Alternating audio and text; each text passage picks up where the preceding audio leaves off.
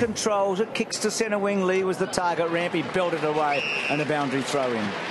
Done pretty well in that kick down the line. Lee, well done. Armitage inside. Oh, terrific tackle. Jones is just a bit slow. Rampe was a bit stiff. He didn't, and then Rampe did so well. Say Scotty Watters would make more sense of what happened last week in that game than most other. So Montagna, well done.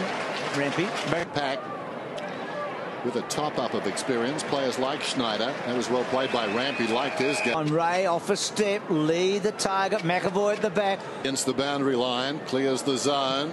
Rampe from behind does well again. Being forced away from goal. The kick goes down towards full forward. Rampe did well. Could be something they could take back to Melbourne.